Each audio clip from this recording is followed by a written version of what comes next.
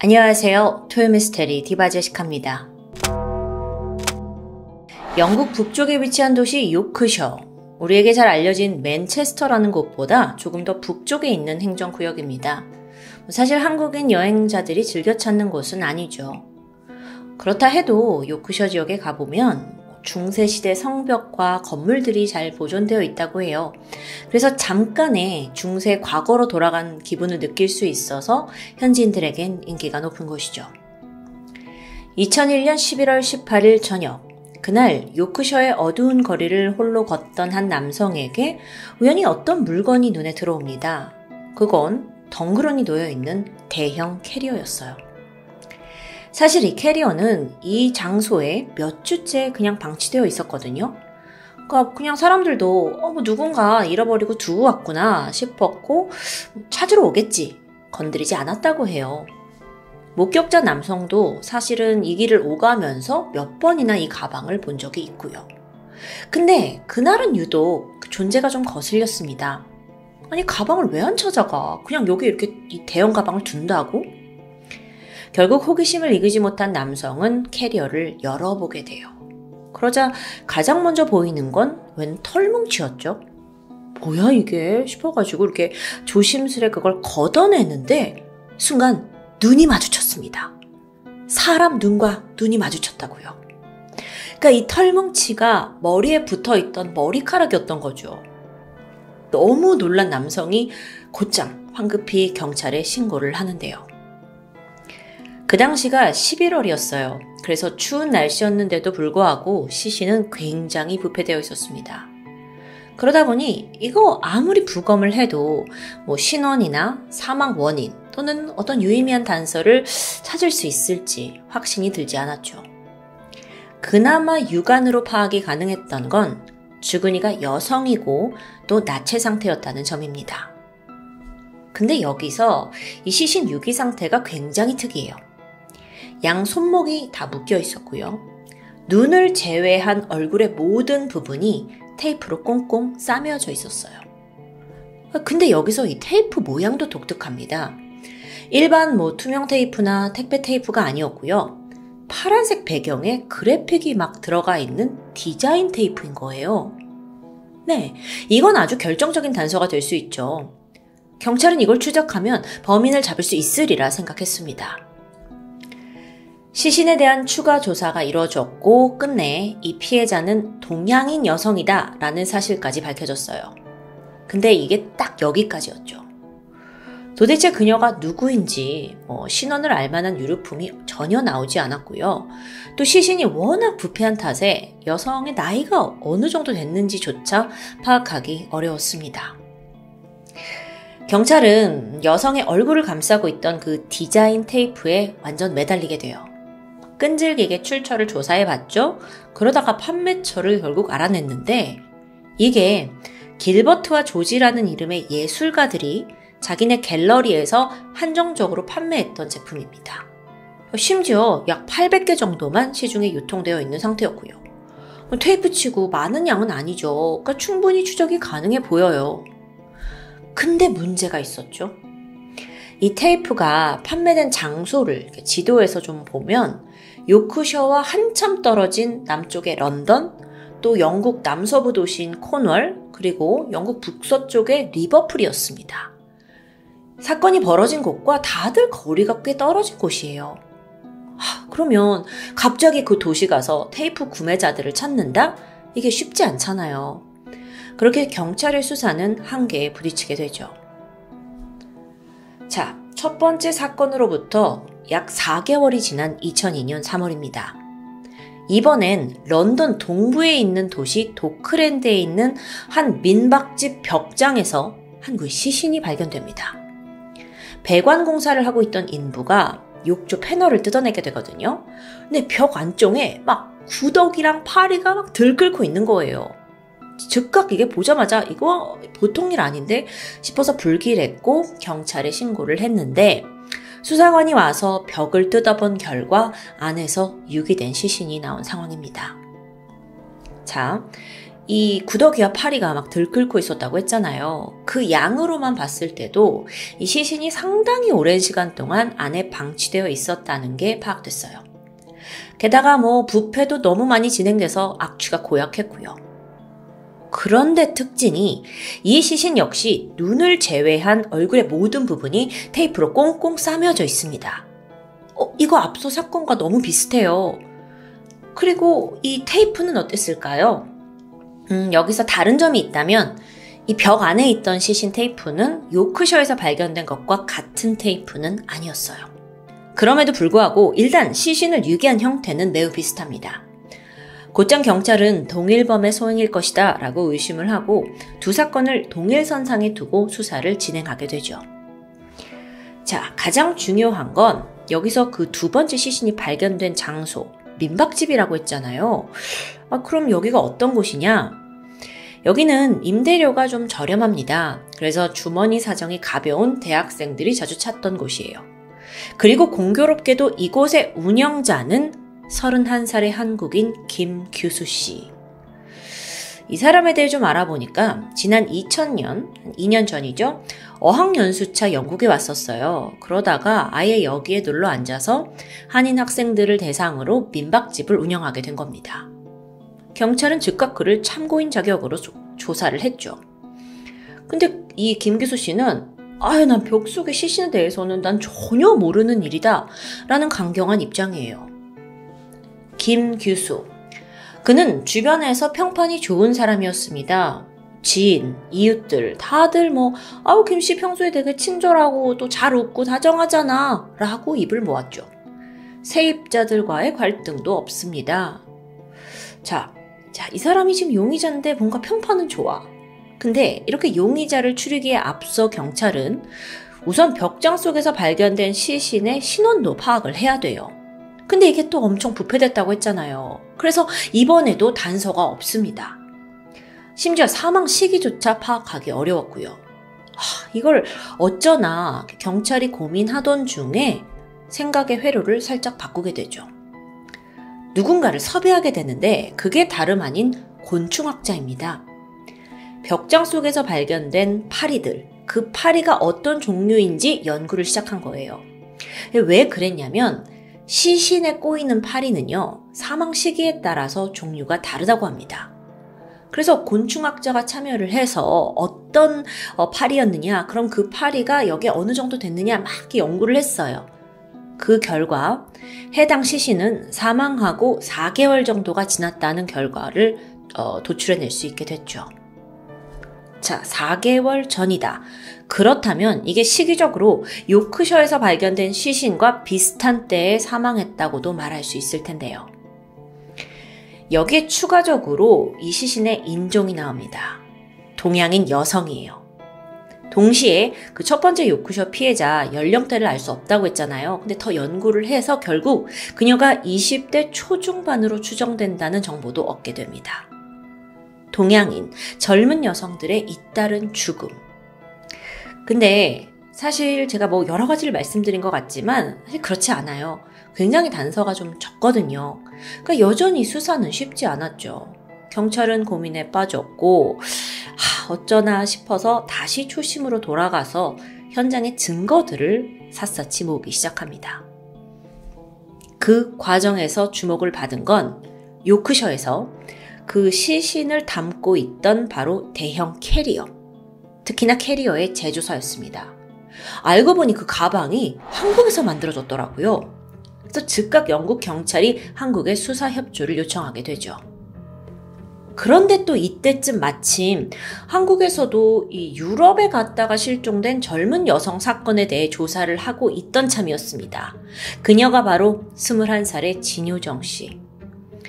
프랑스 유학을 하고 있던 중이었어요. 그러다가 며칠간 영국으로 여행을 갔다는데 그 뒤에 연락이 두절된 상황이었죠. 자, 영국 경찰은 그 진효정 씨가 혹시 이 요크셔 사건의 피해자가 아닐까 싶었습니다. 그래서 한국 경찰에 지문 정보를 요청했어요. 자, 그렇게 요크셔에서 발견된 첫 번째 시신 에 아주 미세한 쪽지문이 남아 있었거든요. 그 쪽지문과 한국에서 가져온 정보, 진효정 씨에 대한 정보를 대조하게 돼요. 그 결과는 일치. 어, 참고로 한국에서는 주민등록증 등록할 때 열 손가락 지문을 모두 채취하잖아요. 이게 큰 도움이 됐다고 합니다. 그래서 미세한 지문만 남아 있었는데도 신원 대조가 가능했던 거예요. 자, 그렇게 첫 번째 신원이 밝혀졌고 곧이어 두 번째 시신의 신원도 밝혀지는데 지난 2001년 12월 영국에서 실종 신고가 접수된 한국인 여성이 있더라고요. 그녀의 이름은 송인혜 씨. 송 씨는 지난 12월 7일 날 지인과 마지막 통화를 했는데 어, 나 런던의 타워 브릿지에 있어 라고 말을 했습니다. 근데 이걸 끝으로 연락이 두절됐죠.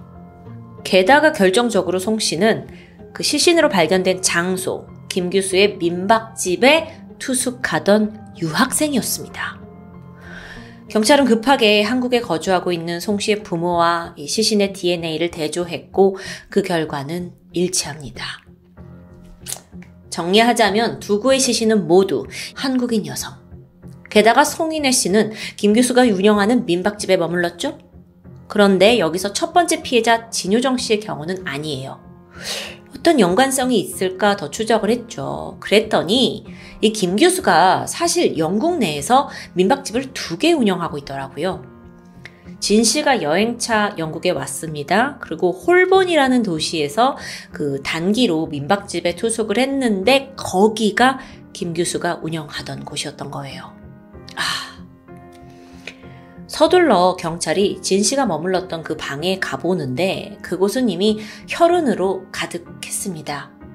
현장 상태로 봤을 때 진 씨는 이 민박집에서 잔혹하게 살해당하고 이후 자기가 가지고 온 그 캐리어에 담긴 채 유기된 것으로 보입니다.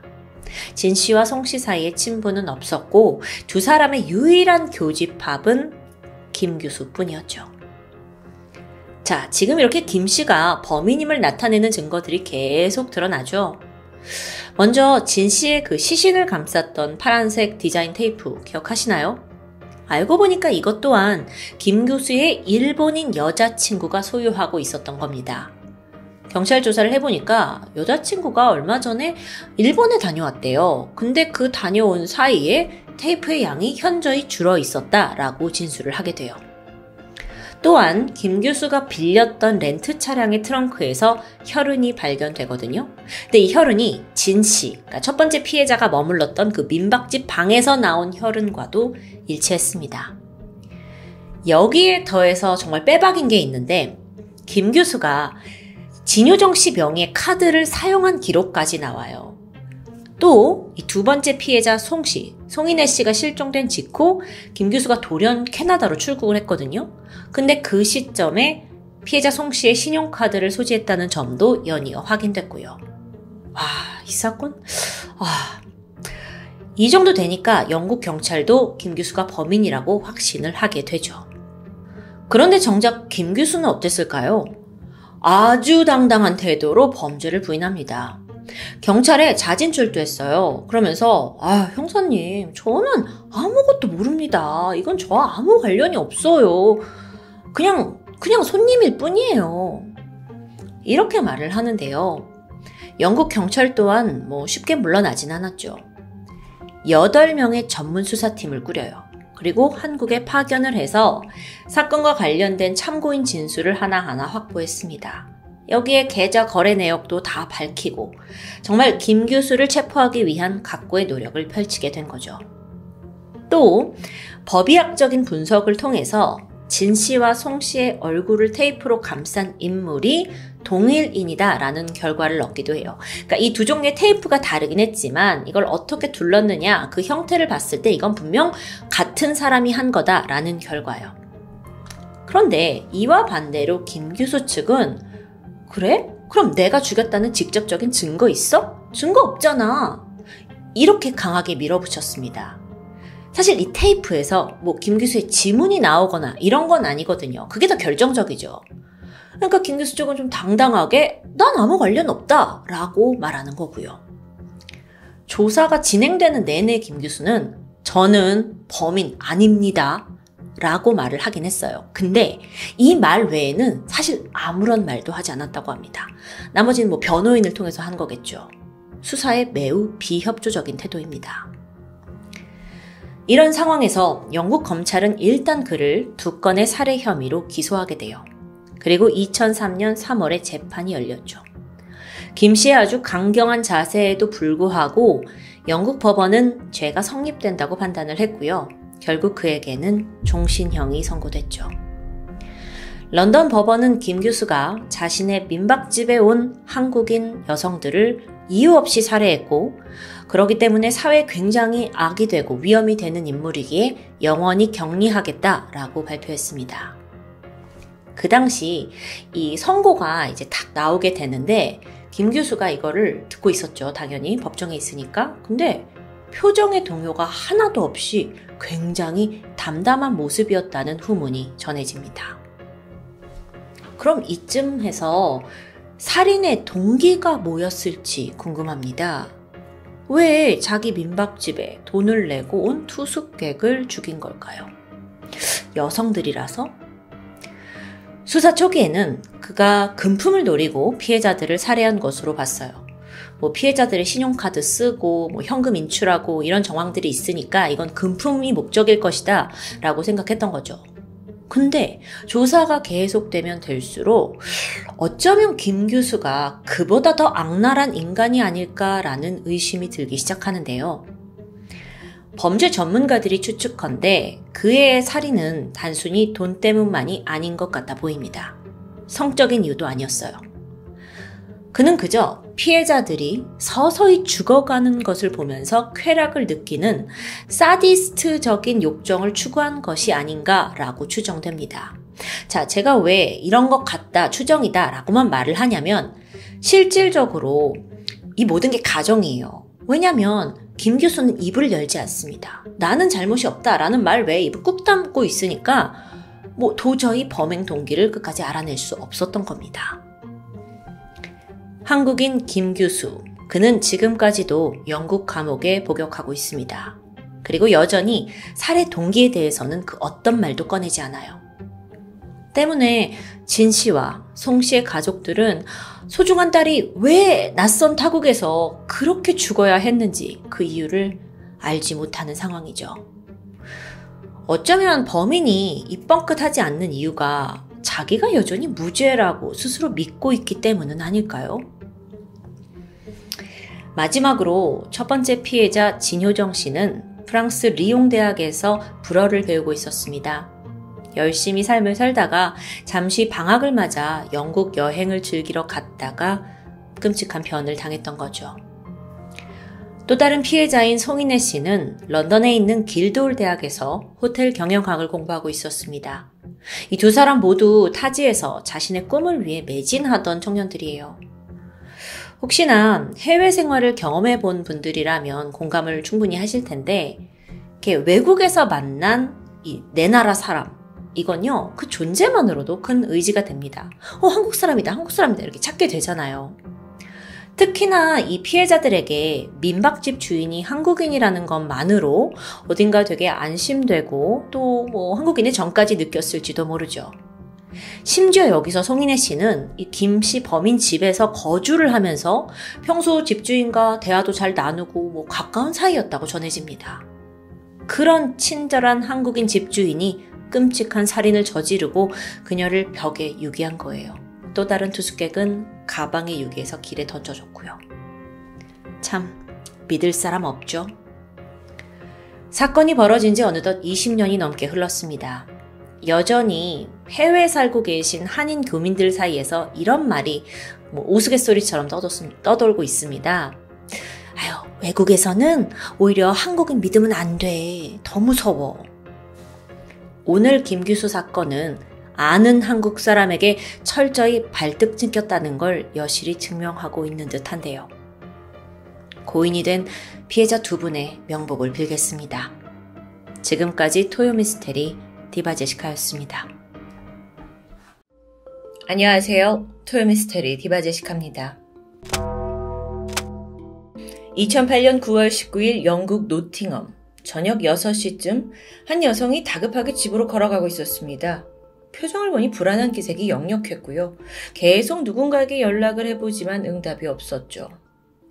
잠시 후 겨우 집에 도착해서 계단을 올라 집 문을 여는 순간 엄청난 피비린내와 함께 눈앞에 펼쳐진 광경은 너무도 섬뜩했습니다. 신발장 벽에서부터 바닥까지 집안이 온통 피로 얼룩져 있었고요. 특히나 이 핏자국이 침실을 향해 이어졌는데 그 끝엔 한 남성이 쓰러져 있었죠. 그의 이름은 매튜 파이크. 이제 막 새내기가 된 스무 살 대학생이었습니다. 놀란 여성이 괴성을 지르면서 그에게 다가갔는데 숨이 전혀 느껴지지 않았고요. 그 여성의 이름은 조안나 웨이튼. 매튜와는 연인 사이였습니다. 잠시 후 신고를 받은 경찰이 도착을 했고 서둘러 매튜부터 살펴봤지만 안타깝게도 그는 이미 숨이 끊어진 상태였죠. 한눈에도 이 매튜의 몸엔 수많은 상흔이 보였습니다. 확실한 타살의 증거겠죠. 여기에 더해 집안 곳곳을 뒤진 흔적까지 발견되면서 경찰은 강도 살인 사건을 의심합니다. 그런데 부검 결과는 어딘가 다른 방향을 암시하고 있었어요. 보통 흉기를 든 강도는 금품이 가장 목적이기 때문에 상대를 공격하더라도 신속하게 급소를 찔러서 제압하는 양상을 보인다고 합니다. 하지만 이 사건의 경우는 좀 달랐죠. 주로 원한 살인에서 발견되는 오버킬이 있던 겁니다. 매튜가요, 무려 흉기로 86번을 찔린 상태였죠. 86번이요. 그러고 보니까 범인이 집안을 뒤진 듯 어지러워져 있었지만 정작 사라진 물건은 파악할 수 없었습니다. 가지고 간 게 없는 겁니다. 결국 원한에 의한 살인이다 라는 것에 가능성을 둔 경찰은 음, 일단 최초 신고자인 여자친구 조안나를 참고인 신분으로 조사하게 되죠. 그녀는 피해자 매튜와 같은 집에서 동거 중이었는데요. 그날을 좀 볼까요? 아침 7시에 조안나가 출근을 하려고 집을 나섰고 평범한 하루였습니다. 그런데 평소 매튜가 하루에도 몇 번씩 문자를 보내곤 했는데 그날따라 조안나의 연락에 아무런 응답이 없었죠. 평소답지 않은 행동이었습니다. 그래서 조안나가 불안해져서 평소보다 조금 일찍 퇴근을 해서 집에 왔는데 이런 참담한 광경이 펼쳐져 있던 겁니다. 사실 이 커플은 나이도 20대 초반으로 아주 어렸고 뭐 그렇다고 문제를 일으키는 성향도 아니었기 때문에 원한을 살 만한 사람이 아무리 봐도 찾을 수 없습니다. 자, 다시 경찰은 현장을 좀 더 꼼꼼히 살펴봅니다. 그러던 중에 매튜가 사망한 그 침실에서 심상치 않은 뭔가를 발견해요. 그건 침실 한 구석에 있던 컴퓨터 옆면에 빨간 피로 휘갈겨 쓴 단어였죠. DAV. DAV? 영어 단어는 아닌데요. 그런데 그 혈흔은 매튜의 것이었습니다. 자, 이건 범인이 남긴 걸까요? 아니면 매튜가 남긴 걸까요? 우선 그 단어가 써져 있는 곳이 컴퓨터 옆면, 그러니까 단번에 눈에 띄는 곳은 아니었던 것 같습니다. 만약 범인이 무언가 어, 살인을 하고 메시지를 남겼다면 그건 분명 약간 과시용은 아닐까요? 근데 위치상 그건 아니, 아닌 것으로 보이죠. 그렇다면 이건 매튜가 죽기 전에 남겨둔 메시지 혹은 암호라고 볼 수 있었습니다. 뜻을 해석하긴 어려웠는데 이게 분명 범인과 관련된 건 틀림없었죠. 경찰은 즉각 이걸 토대로 수사를 시작했고요. 다행히 머지않아서 사건 5일 만인 9월 24일 영국이 아닌 독일 프랑크푸르트에 살던 한 독일 남성이 유력한 용의자로 떠오릅니다. 아, 갑자기 그가 누구일까요? 도대체 매튜와 어떤 원한 관계? 여러분, 이 독일 남성, 그리고 죽은 매튜, 그리고 조안나까지 이 세 사람의 지독한 악연은 2년 전으로 거슬러 올라갑니다. 매튜와 조안나는 고등학교를 졸업한 직후부터 만남을 시작했습니다. 처음부터 서로에게 흠뻑 빠졌고 자연스럽게 연인 사이로 발전을 했죠. 이 두 사람은 많은 공통점이 있었는데 그 중 하나가 두 사람 모두 어드밴스 월즈라는 이 닌텐도 게임의 열성 팬이었다는 겁니다. 사실 이 게임이 그렇게 대중적인 게임은 아니에요. 소수 매니아층이 형성이 되어 있는데 그게 매튜와 조안나였던 거죠. 천생연분입니다. 너무 신이 난 두 사람은 더 나아가서 이 게임을 위한 어떤 온라인 커뮤니티를 만들고자 했습니다. 그러니까 매니아 유저들을 모아서 뭐 게임 맵 정보나 전략을 함께 나누고 싶었던 거죠. 몇 달 후에 이 두 사람이 동거를 시작했고요. 본격적으로 게임의 팬 사이트를 제작합니다. 특히 매튜가 이 컴퓨터에 직접 프로그래밍을 할 만큼 능숙했기 때문에 충분히 이게 가능했던 일입니다. 그렇게 해서 오픈된 사이트의 이름은 Wars Central. 뭐 회원은 40명밖에 안 되는 작은 규모의 커뮤니티라고 할 수 있지만 오히려 회원들은 아주 빠른 시간 안에 가까워지게 됩니다. 그리고 이곳의 공동 운영자인 매튜는 이 안에서 Shade라는 어, 닉네임을 썼고요. 조안나는 조조라는 닉네임으로 활동을 하게 되죠. 뭐 본명을 쓸 필요는 없었으니까요. 그러던 어느 날입니다. 문득 조안나에게 메시지 하나가 도착했어요. 안녕. 보니까 닉네임이 Eagle the Lightning입니다. 아, 아, 아, 이 사람. 이 사람은 Wars Central 사이트에서 하루 평균 한 8시간 정도 아주 열성적으로 활동하던 사람 중 한 명이죠. 그는 이 게임에 대한 수많은 팁과 전략을 공유했습니다. 조안나는 반가웠죠. 그런데 잠시 후에 연이어 메시지가 도착합니다. 조한나 안녕? 어라? 그녀는 이 사이트에서 단 한 번도 자신의 이름을 언급한 적이 없습니다. 오직 조조라고만 불렸어요. 근데 어떻게 본명을 알고 있는 걸까요? 뭔가 좀 꺼림직해졌고 조한나는 메시지를 무시하기로 합니다. 그리고 며칠 후 이번엔 조한나의 페이스북 계정으로 또 한 통의 메시지가 도착합니다. 안녕. 나 이글 더 라이트닝이야. 우리 친구할까? 조한나는 당황스러웠습니다. 근데 이번에는 피하지 않고 어, 내 이름을 어떻게 알았냐 메시지로 물어봤죠. 그러자 그는 다른 회원들한테 몇 가지 정보를 얻었다. 그래서 대수롭지 않게 대답합니다. 그리고 그때부터 끔찍한 악몽이 시작됐죠. 이 남자가 매일같이 페북 메시지를 보냅니다. 근데 그게 하루 최소 100건 이상이에요. 처음에는 그냥 친해지고 싶었는 줄 알았죠. 근데 시간이 갈수록 메시지의 내용이 너를 사랑한다. 너 없인 못 산다. 우리 언제 만날 거냐. 뭐 이건 거의 집착과 망상에 가까운 문자였습니다. 끈질기게 구했어요. 그가 보낸 장문의 메시지 내용을 실제 내용을 잠깐 살펴보면 난 너를 너무 사랑해. 내 인생에 무엇보다도 더 네가 소중해. 이러면 안 되지만 난 참을 수가 없어. 아침에 눈을 뜨자마자 그리고 밤에 잠들기 직전까지 나는 네 생각만 해. 여러분 참고로 조한나는 이 남자를 한 번도 직접 만난 적이 없습니다. 이 남성은 도대체 어떤 사람인가? 닉네임 이글 더 라이트닝은 하루 종일 대부분의 시간을 팬사이트에서 보내는 듯 했어요. 그러다 보니 여기에 올라오는 뭐 크고 작은 게시물들을 빠짐없이 섭렵했죠. 그러던 중에 우연히 운영자 매튜와 조안나의 신상을 알게 된 듯 합니다. 본명을 알아냈고 페이스북에 가서 얼굴까지 보게 됐죠. 그러면서 조안나에 대한 짝사랑을 키워간 겁니다. 사실 조안나의 페이스북을 가보면 매튜와 연인 관계다라는 걸 쉽게 알 수 있어요. 하지만 그는 전혀 개의치 않았죠. 그렇게 끝없는 메시지에 시달린 지 6개월이라는 시간이 흘렀습니다. 하루에도 수백 통씩 오는 메시지들. 그러니까 조안나는 막말로 얼굴도 모르는 사람한테 테러를 당하고 있는 겁니다. 그런데 사실 조안나가 그걸 그렇게 크게 두려워하고 있진 않았어요. 어차피 온라인 유저 중에 한 명이고, 뭐 이런 집착도 인터넷에서나 가능하지 직접적인 위협이 될 거라고는 미처 생각하지 못했던 겁니다. 그러던 2008년 6월, 이때는 사건 두 달 전쯤이었습니다. 매튜와 조안나가 대학 기말고사를 마치고 신나게 오랫동안 계획했던 여름 휴가를 떠나게 돼요.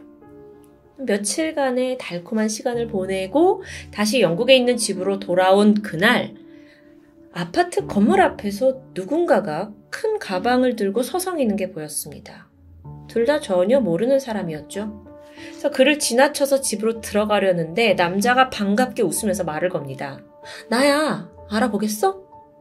그의 정체가 바로 Eagle the Lightning. 아, 소름 돋죠. 본명은 데이비드 하이스입니다. 독일에 살고 있던 21살의 직장인이었어요. 뭐 안타깝게도 이 사람에 대해서 알려진 건 많이 없었는데 두 형제 중에 장남이고 부모님이 이혼을 한 후에 조부모님과 함께 살고 있고요. 고등학교를 졸업하고 나서 군대를 이제 희망하면서 입대를 하긴 했는데 불과 몇 주 만에 정신적 문제로 인한 부적격 판정을 받고 제대하게 됩니다. 이후에 그는 돈을 벌기 위해 직장에 다니긴 했지만 실제로는 거의 온라인 속에서 대부분의 삶을 살았던 것으로 보이죠. 어쨌든 영국 집 앞에 나타난 데이비드. 자기가 이 두 사람을 만나기 위해 독일에서 날아왔다라고 막 신나게 설명을 합니다. 그러면서 자기가 지금 머물 숙소도 돈도 없으니 이 커플의 집에 며칠 머물게 해달라고 요청하는데요. 당시 커플 입장에서는 일단 아니 집 주소를 어떻게 알아냈는지 그것만으로도 너무 소름 끼치죠. 그래서 여기에 대해 따졌는데 데이비드가 아, 이 차 저 차 해서 페이스북 뒤지면 뭐 다 알 수 있는 정보다 라고 얼렁뚱땅 대답합니다. 물론 매튜 조안나 단 한 번도 주소를 노출한 적은 없어요. 하지만 음, 여러분도 아시다시피 SNS를 하다 보면 그리고 맘먹고 이제 추리를 하려고 하다 보면 그 사람 사는 곳 정보를 알아낼 수 있긴 합니다. 사진이나 게시물을 통해서요. 추정컨대 데이비드도 그런 식으로 조합을 해서 커플이 사는 곳을 알아낸 듯 한데요. 근데 이때까지만 해도 매튜는 데이비드가 조안나를 스토킹 해왔다는 걸 전혀 몰랐습니다. 그래서 집 앞에 나타난 게 당황스럽긴 했지만 같은 팬사이트 회원이고 또 독일에서 날아왔는데 모질게 대할 수가 없었던 거죠. 그래서 일단 집으로 데려오게 되는데 동시에 조한나는 어땠을까요? 데이빗 나타났을 때 정말 현실 공포가 엄습했습니다. 스토커는 집에서 머문다고 하고 남자친구는 그러라고 하고 이때 조한나는 아무 말도 못한 채 상황을 보고만 있었어요. 왜냐하면 여태껏 데이빗과의 일을 사실 대수롭지 않게 여기다 보니까 남친한테 불편해질까봐 털어놓지 않았기 때문입니다. 그런데 당사자가 나타났고 두려움에 치가 떨리죠. 아. 이후에 데이비드는요, 이런저런 핑계를 대면서 3일간이나 이 커플 집에 머물렀습니다. 그리고 예상대로 머무는 내내 조안나한테 은밀하게 구애를 해요. 매튜 모르게 사랑한다 라는 쪽지를 적어서 몰래 건네주고요. 또 그녀가 막 거실에 있든 화장실에 있든 막 쫓아다니고요. 어, 조한나는 정말 미치고 팔짝 뛸 노릇이죠. 제가 상상만 해도 정말 더럽고 짜증나는데요. 그렇게 악몽 같은 3일이 지나고 그가 떠났습니다. 그리고 마침내 조한나가 남자친구한테 모든 일, 메시지 테러, 스토킹 다 털어놓았고 매튜도 그제서야 상황을 파악하게 된 겁니다. 그는 여자친구가 얼마나 괴로웠을지 떠올리면서 크게 분노했죠. 바로 데이비드한테 연락합니다. 한 번만 더 우리 앞에 나타나면 뭐 신고하는 건 물론이고 당신을 팬사이트에서 완전히 차단하겠다 경고했습니다. 근데 이때 데이비드의 태도는 그래? 뭐 해볼 테면 해봐 라는 식이었어요. 여기에 더 화가 난 매튜는 사이트에다가 이 데이비드가 어떤 짓을 저질렀는지 공개적으로 저격하는 글을 올리게 됩니다. 자, 그렇게 해서 자신이 이 열정을 다 쏟아붓은 이 사이트 안에서 무례하고 파렴치한 스토커로 낙인이 찍힌 데이빗. 변명을 해보려고 했지만 뭐 소용이 없었고요. 사실 그에게 많은 인간관계가 없었을 테고 이 사이트가 다였을 수도 있는데 그 커뮤니티에서 그가 점점 소외당하기 시작해요. 그때 엄청난 굴욕과 분노를 느꼈겠죠. 그리고 몇 주 후입니다. 그가 또다시 영국에 방문합니다. 목적지는 매튜와 조안나가 살던 집이었어요. 소름 돋게도 당당히 집 앞에 나타났고요. 커플이 즉각 경찰을 불러서 접근 금지를 요청했습니다. 동시에 그가 아예 이제 사이트에 올 수 없도록 영구적으로 제명시키게 돼요. 그리고는 조안나에게 메일 한 통이 도착했습니다. 발신인이 데이빗이에요. 내용을 보니까 내가 언젠가 영국으로 돌아가서 너한테 칼 같은 걸 줄 거야. 그리고는 날 죽이라고 말할 거야. 왜냐면 난 너 없이는 살 수가 없거든. 아, 짜증나요. 정말, 정말. 제가 듣고 정말 너무너무 짜증나요. 무서워요. 이 메일을 마지막으로 데이비드는 두 달간 사이트에 접속하지도 않았고, 뭐 메일도 없었고, 모든 게 잠잠해지는가 싶었습니다. 또 처음에는 무섭지만 시간이 지나면 괜찮나 싶으니까요. 하지만 얼마 후, 이번엔 매튜가 이메일을 하나 받았습니다. 열어보니까 내용은 너한테 주고 싶은 게 생겼어. 뭔지는 말 안 해줄 건데 네가 분명 좋아할 거야. 자, 이 메일은 매튜가 그냥 무시하고 넘겼습니다.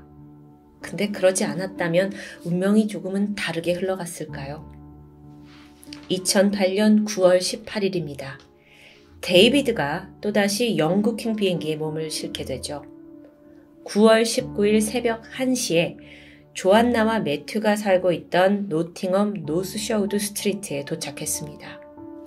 그는 우선 이 아파트의 옥상으로 향했어요. 그리고 무슨 꿍꿍인지 옥상에 있는 에어컨 환풍구 뒤에서 하룻밤을 보내게 되죠.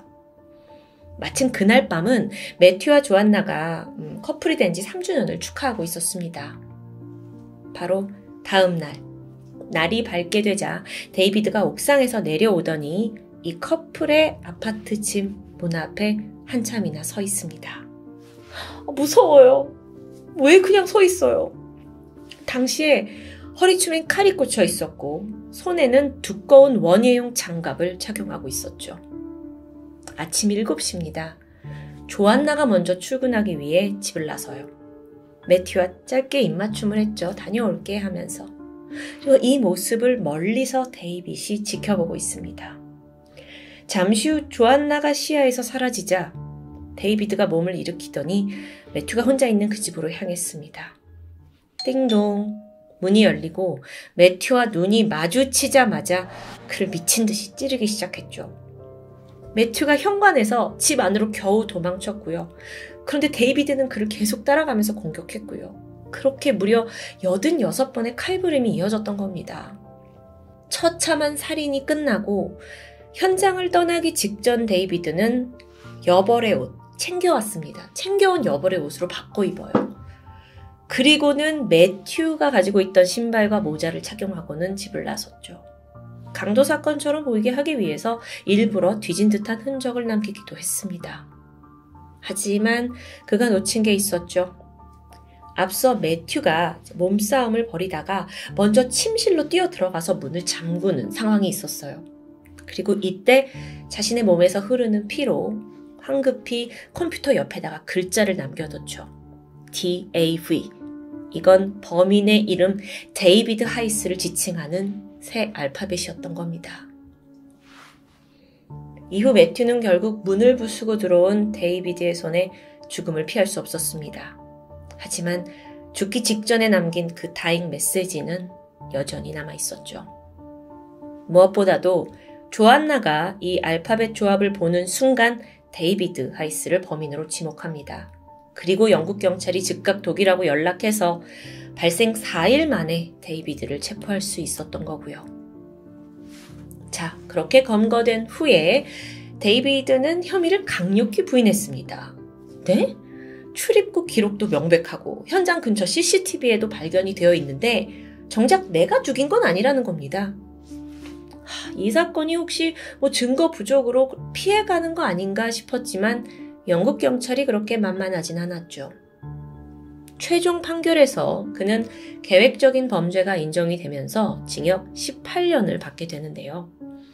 이 형량이 다소 적은 게 아닌가 싶지만 그 기억하세요. 정신적인 문제로 군대에서 제명이 됐죠. 뭐 심신미약이 좀 적용이 된 듯합니다. 참고로 데이비드의 가족 중에 그 어떤 누구도 재판에 참여하지 않았습니다. 후에 알려진 바로는 그는 감옥에 갇혀서도 조안나에게 편지를 보내서 제발 자신을 만나달라고 여전히 구했다고 하는데요. 정말 찌질이 그 자체가 아닌가 싶지만 아니요. 이건 정말 정신이 많이 이상한 사람입니다. 많은 사람들이 스토킹의 심각성은 물론이고 온라인 스토킹의 심각성 또한 제대로 인지하지 못하는 실정입니다. 인터넷으로 괴롭혀봤자 뭐 얼마나 심각하겠어 하는 아니란 생각 때문이겠죠. 그런데 이런 말을 들은 적이 있습니다. 스토킹은 누군가 죽지 않고서는 절대 끝나지 않는다. 과연 18년형을 마치고 세상에 나올 데이비드는 조안나를 깨끗이 잊었을까요? 아니면 제일 먼저 그녀의 집을 찾아갈까요? 토요 미스테리 그 어느 때보다도 소름 돋는 일하였습니다. 지금까지 디바제식합니다.